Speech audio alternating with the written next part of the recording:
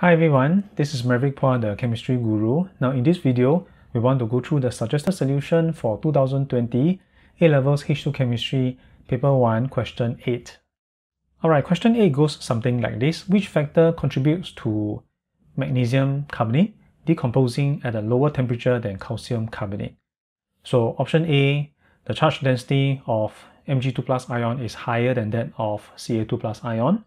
Option B, the standard enthalpy change of formation of magnesium oxide is less negative than that of calcium oxide. Option C, the lattice energy for magnesium carbonate is more negative than calcium carbonate. And finally, option D, the melting point of magnesium carbonate is lower than that of calcium carbonate. The topic tested in this question is actually fairly straightforward, involving the decomposition temperature of magnesium carbonate and calcium carbonate. This is actually under group 2 and the concept is focusing on the thermal decomposition of group 2 carbonates. So maybe let us just run through the concept first in order for us to understand which is the answer. Now involving thermal decomposition of group 2 carbonates, the focus will be on the charge density of your metal cation. So we do know that each metal cation has a certain charge density depending on the size and depending on the charge. So charge density let me show you here. Charge density is linked to this expression, charge divided by size. The bigger the charge, the smaller the size, I'll have a higher charge density. So we can see charge density as if I have a higher charge density, then this charge is very intense in a very small region. So if it has a higher charge density, then it will have a greater polarizing power. You will have a greater ability to go and distort or disturb the electron cloud of a neighboring species. So in the case of thermal decomposition, so what this metal cation is disturbing or distorting is the electron cloud of your carbonate, CO3 2 minus. So if I consider Mg2 plus versus Ca2 plus, Mg2 plus clearly it is higher up in the period as compared to Ca2 plus, so therefore it has a smaller size. So we would expect Mg2 plus to have a higher charge density because charge is the same, the size is smaller, charge density for Mg2 plus it is higher, so will have greater polarizing power. Or sometimes we will just say that it is more polarizing. So if it is more polarizing, then you have a greater ability to pull the electron cloud of a neighboring anion, in this case my carbonate. So you notice the highlighted region, this orange portion, will be the extent of the distortion of the electron cloud. Of course, Largely, the species should be roughly spherical in terms of my anion, but if I have a neighboring cation, which is polarizing, pull the electron cloud away from your anion, so the electron cloud will be distorted as being represented here. If I compare this with Ca2+, Ca2+, the size is higher, it is less polarizing, it will pull the electron cloud of carbonate to a certain extent, but not as much as compared to your Mg2+. So what is the consequence? Involving that. Now, if there's a greater distortion of electron cloud for your carbonate, what happens is it will weaken the bonds within the carbonate. Now, we can see this as the electron cloud distribution for your anion is supposed to be shared between carbon and the three oxygen. And when you have this electron cloud distribution, your carbonate has a certain stability. Now this Mg2 plus comes along and it's trying to steal electrons away from your carbonate. It's trying to take electron distribution away from your carbonate.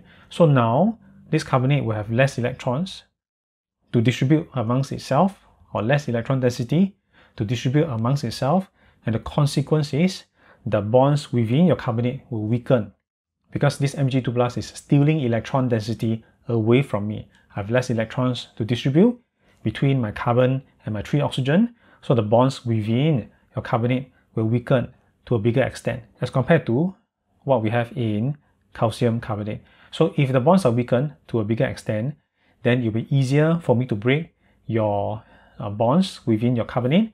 So you notice if I were to break this bond, then we say that decomposition takes place and it will decompose to give me magnesium oxide and carbon dioxide. You notice when you break one of the CO bond, my CO2 will be here. This will be my carbon dioxide.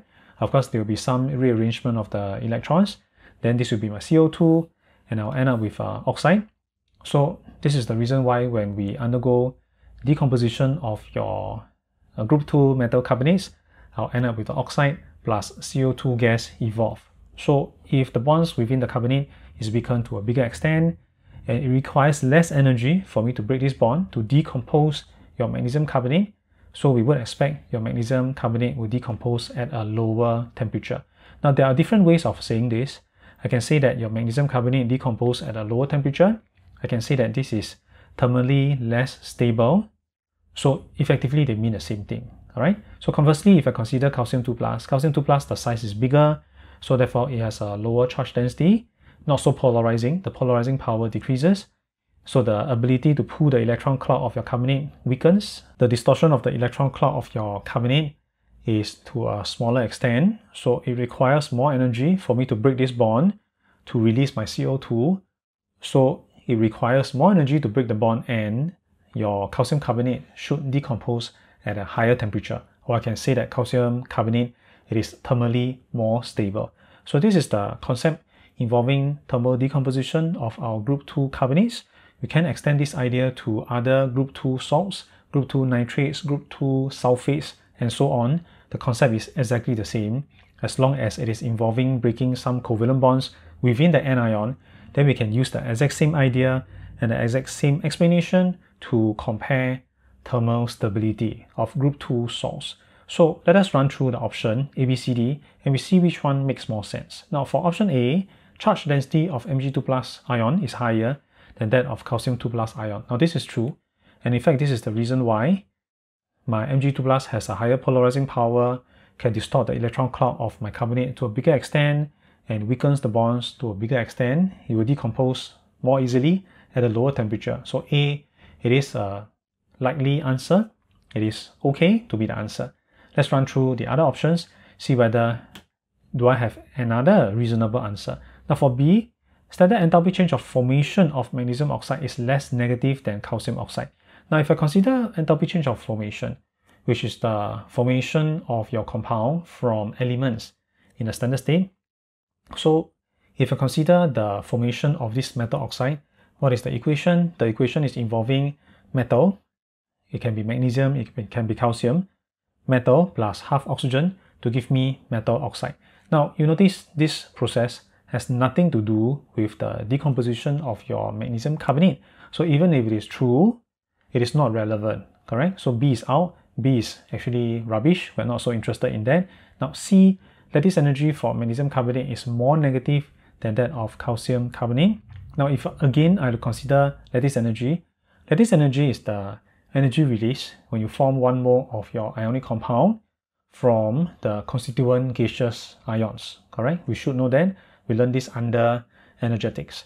So the process of this lattice energy will be something like this. Metal 2 plus plus CO3 2 minus to give me metal carbonate. Now, is this relevant here? Even though we are talking about your magnesium carbonate versus calcium carbonate, you notice the process of lattice energy is related to the separation of my ions, separating your M2 plus and your CO3 2 minus. So this is related to the strength of your ionic bond and we can use this idea to compare melting point involving magnesium carbonate versus calcium carbonate because melting point involves separating our ions, correct? Separating your cation from your anion. But in this case, if I'm talking about decomposition, decomposition targets the breaking of the covalent bonds within the carbonate.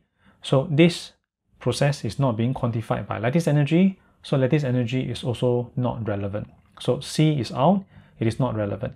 Then finally D, if I consider melting point of your magnesium carbonate is lower than that of your calcium carbonate. Now melting point is more related to lattice energy and it is a physical change which again if I come back to this question when we consider decomposition I am decomposing your metal carbonate to metal oxide plus CO2.